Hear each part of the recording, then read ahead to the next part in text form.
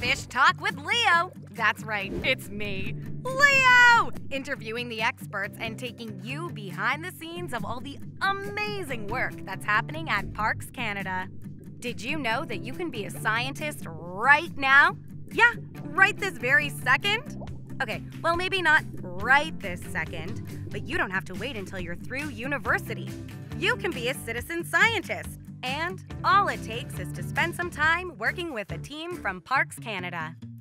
Tim has got a great story about how all kinds of people, not just scientists, but kids too, are helping the Inner Bay of Fundy Atlantic salmon. My name's Tim Robinson, and I'm the manager of the Fort Folly Habitat Recovery Program. We uh, work on behalf of Fort Folly First Nation, and we employ uh, youth, Aboriginal and non-Aboriginal, and train them up as river technicians, salmon experts. Wow! How did this great project get started?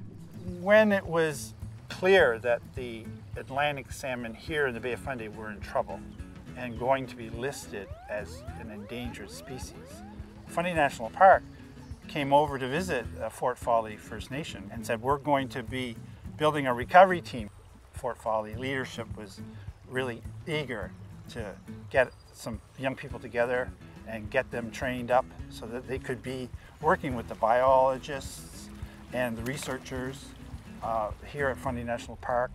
A whole community coming together to help the Atlantic salmon? That's fantastic! Salmon is one of those species important to all Canadians, and it's especially important to the First Nations people, like across the country, from the Pacific to the Atlantic. They feed people, they feed animals as well, and some of the nutrients that are left behind in the freshwater environment feed the other small fish and the bugs, and then the larger animals all the way up to bears.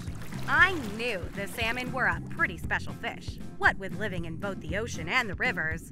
But great gills! I had no idea how important they were to just about every living creature. So, how's the program doing? Last year, 70 adult salmon returned, which isn't a lot compared to the historic numbers, but was more than they've seen in the last 30 years, so that's encouraging. Holy crayfish! It must be amazing to be involved in helping such an important fish. Absolutely. It's been a real privilege to be part of, you know, doing what we can to potentially recover endangered species. Salmon are the king of fishes. Their presence is so important to all the other fish and the, the entire well-being of the river. They've always been a very, very important fish, not just to, to people, but to all the, the creatures that use the river. They want to see them back. That's right, we do.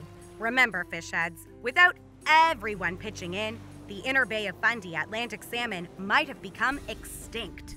And now that we know how important one creature is to the food web, there's never been a better time to lend a fin. I betcha there's a creature in your area that could use some help.